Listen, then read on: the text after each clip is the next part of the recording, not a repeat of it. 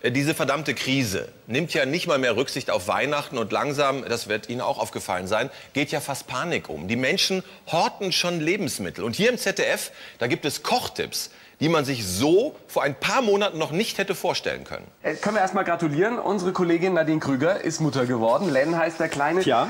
4690 Gramm schwer. Du kriegst eine ganze Familie davon satt, oder?